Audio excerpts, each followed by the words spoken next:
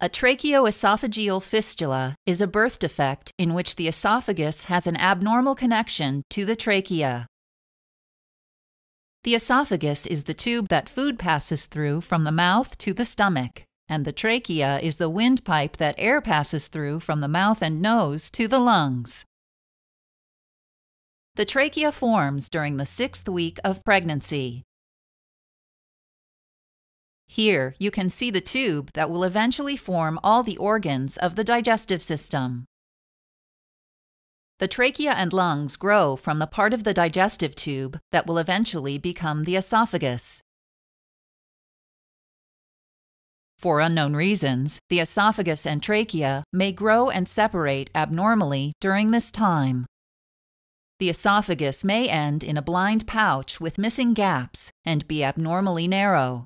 This absence or narrowing of a natural body passageway is called atresia. The esophagus and trachea may also have an abnormal connection called a tracheoesophageal fistula. Here we see the most common type of tracheoesophageal fistula in a newborn infant. The upper esophagus ends in a blind pouch, and the lower esophagus connects to the trachea. This is a serious problem because stomach contents can travel up the esophagus and pass through the fistula into the trachea and lungs.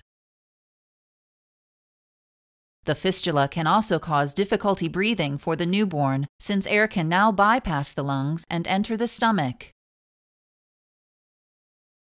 Before a tracheoesophageal fistula repair procedure, an intravenous line will be started. The baby may be given antibiotics through the IV to decrease the chance of infection. The baby will be given general anesthesia, which will put the baby to sleep for the entire operation. A breathing tube will be inserted through the mouth and down the throat to help the baby breathe during the operation.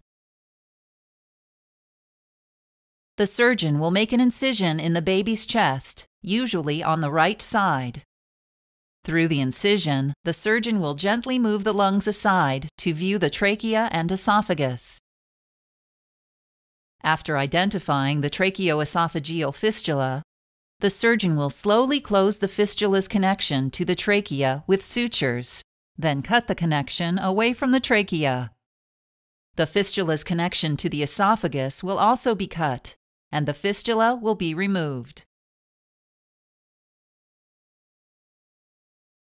Next, the surgeon will make an incision at the end of the upper esophagus to open it. Then the upper and lower esophagus will be connected with sutures.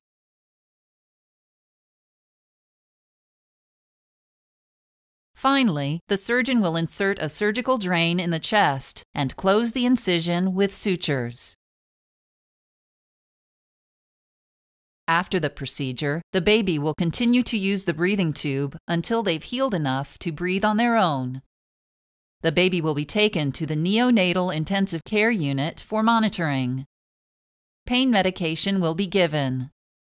The baby may continue to receive antibiotics through the IV. Babies are released from the hospital when they're able to eat enough to maintain their weight, which may be after two weeks or longer.